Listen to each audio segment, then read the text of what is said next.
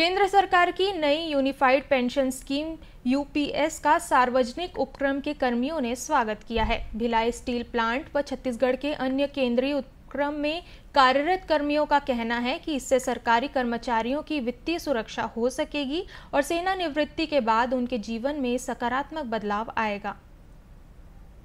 केंद्र सरकार की जो यूनिफाइड पेंशन स्कीम आई है, उसका मैं स्वागत करता हूँ, क्योंकि तेईस लाख केंद्रीय कर्मचारियों को, अधिकारियों इनका फ़ायदा मिलेगा। और ये अच्छी स्कीम है, जिसमें आखिरी महीने जो सुपरनेशन जब होता है, सेवानिवृत्ति होती है, उस समय आखिरी के 12 महीने के एवरेज बेसिक डीए के हिसाब से 50 परसेंट पचास प्रतिशत राशि उसमें पेंशन के रूप में मिलेगी। तो ये बहुत अच्छा है और स्वागत योग्य है इसमें।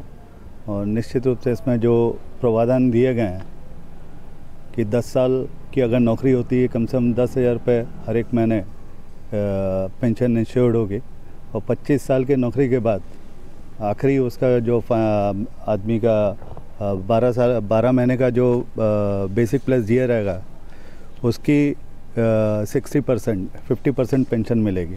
तो निश्चित रूप से ये काफ़ी मतलब सराहनीय कदम है। निसंदेह यूपीएस सिस्टम जो केंद्रीय सरकार द्वारा कल लागू किया गया है यह जो सेवानिवृत्त अधिकारी कर्मचारियों के जीवन स्तर को ऊँचा उठाने के लिए बहुत ही लाभकारी सिद्ध होगा। निसंदेह बहुत अच्छा निर्णय है और इसके लिए केंद्र सरकार को बधाइयाँ। आदरणीय रेलवे मिनिस्टर अश्विनी वैष्णव जी ने अपने प्रेजेंटेशन में इस बात को पूरे क्लैरिफाई किया कि यूपीएस पेंशन स्कीम लागू किया जा रहा है और उस ये बहुत ही एक सराहनीय कदम है, क्योंकि गवर्नमेंट एम्प्लॉय होने के नाते पेंशन एक बहुत बड़ा आधार हो जाता है बुढ़ापे का, और इसका जो बेनिफिट है वो आदमी चिंता मुक्त हो करके अपना बुढ़ापा आराम से गुजार सकता है, और ये मैं बहुत वेलकमिंग स्टेज मानता हूँ। कि सामाजिक सुरक्षा की कोई भी ऐसी योजना हमेशा लाभकर होती है और इस प्रकार जो पेंशन स्कीम जो आ रही है जो करेक्टेड है और अभी तक जो मार्केट लिंक पेंशन था उससे बेहतर एक सिक्योर पेंशन जो दे रहा है जो डी लिंक रहेगा किसी भी रिटायर्ड एम्प्लॉय के लिए और उनके फैमिली के लिए बहुत लाभकर रहेगा।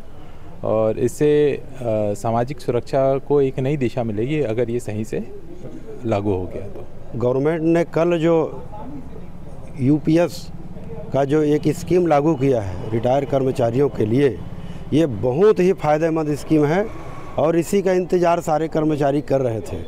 और इस कर्म, इसमें कर्मचारियों को जो 50 परसेंट मिलेगा, वो उनके जीवन स्तर को सुधारने का काम करेगा।